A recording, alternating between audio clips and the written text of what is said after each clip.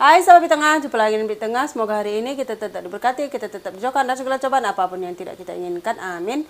Majah jua, horas buat kita semua. Sahabat di tengah hari ini kita bungkus paket kepada kakak ya, Bik Tua di Aceh.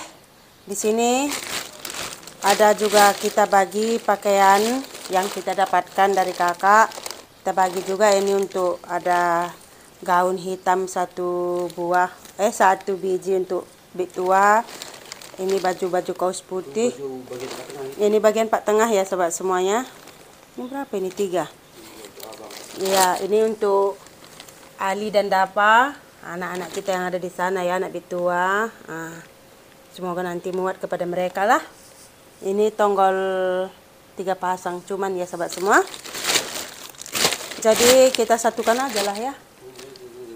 Ya ini jajan-jajannya Nah, ada sarden, roka, nah, Milo, ada ketupat pokoknya atau kalau namanya katanya Bitua di Aceh kita bungkus sahabat semua.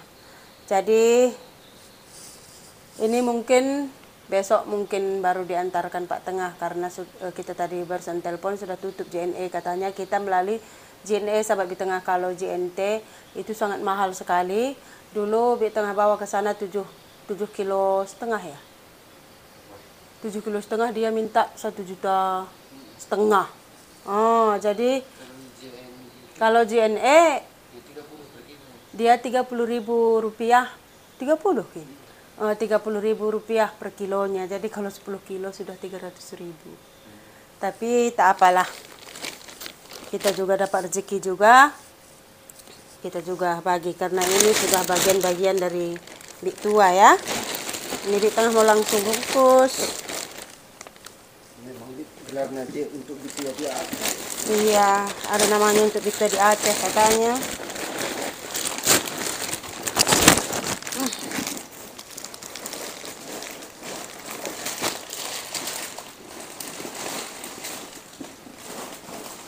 Sebenarnya udah agak lama juga ini sebenarnya tapi baru kali inilah bisa kita paketkan kan?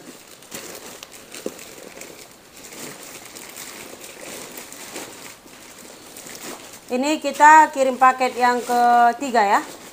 Yang ketiga kepada Bitu Asrasa di Tengah sudah sampai di sana sahabat semua. Jadi banyak juga yang bertanya kenapa Bik Tengah belum pernah berkunjung ke Aceh? Jadi ke Aceh itu sahabat semua tidak segampang uh, berkunjung dari Medan ke Tembilahan. Hmm. Kita juga belum tahu peraturan-peraturannya bagaimana berkunjung ke Aceh. Mobil ke tempat alamat abang itu aja kita naik travel gelap. Iya. Uh, pribadi tapi dia baratnya kan travel nggak nggak resmi. Iya.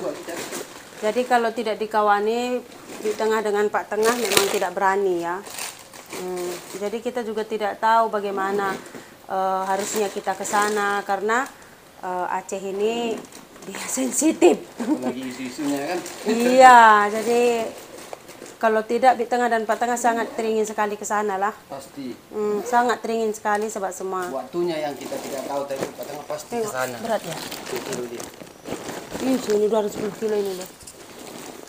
13 kilo. Ih. Tak apalah, demi demi dirimu ini Bitua. Anak-anaknya. Iya, anak-anak. Yang banyak uh -uh.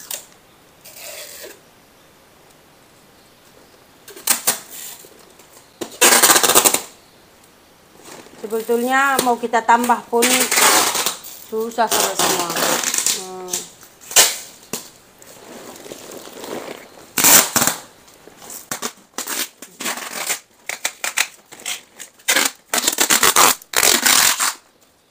besok kita tinggal antar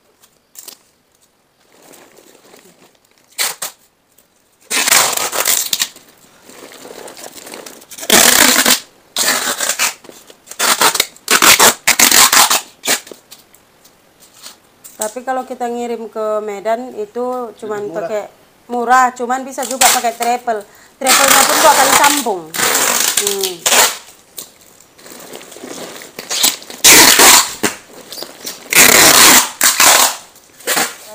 sudah sampai di sana sangat rindu sekali dengan Bitua terakhir kita berjumpa dengan Bitua lebaran tahun semalam sudah dua tahun ya mm -mm. sudah dua tahun tak pernah jumpa sahabat semua rindu sekali dengan Bitua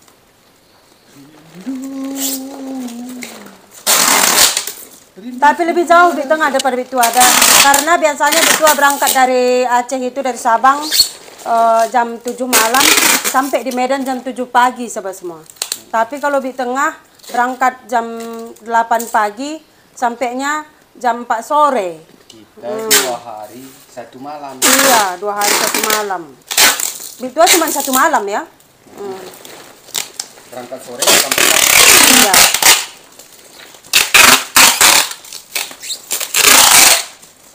Beginilah mungkin nasib semua anak perempuannya sahabat semua kalau sudah nikah dibawa pergi oleh lakinya. Mungkin begitulah kita semua perempuan ini. Sebagian juga, sebagian kan ada juga tinggal di kampung. Iya ada juga netap di kampung kalau dapat jodohnya orang kampung. Kita pun sama sama orang kampung, tapi sama sama merantau. Orang mana-mana satu kampung kita. Seberang. Iya. Pak Tengah, kampung Pak Tengah dengan Bik Tengah itu eh, seberang-seberangan, sungai besar sahabat semua. Pak Tengah seberang sana, Bik Tengah seberang sini. Sungai Dan disatukan eh, oleh cinta. cinta kal.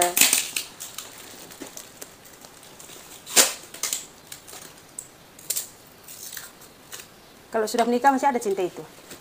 enggak. Yang ada Sayang. sayang.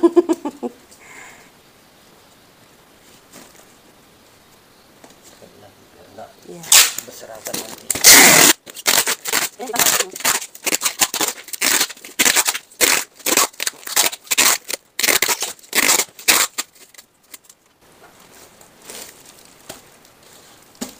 Tengahnya kurang. Tengahnya ini lah. Mm-mm. Karena kita tidak tahu ya sahabat semua nanti entah di pas mengangkatnya apa segala macam. Mm. Oke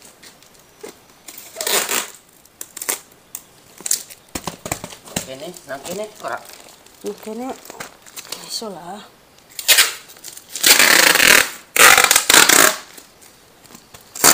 Walaupun jauh, kalau ada namanya di dalam paketan, kita usahakan Sampai kepada orangnya. pada orangnya. Karena itu bukan hak kita ya.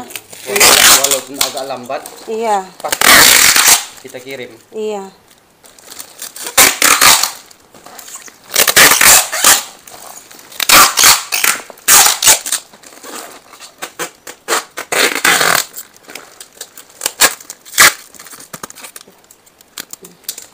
Oke, tinggal tulis nama di sini nanti ya.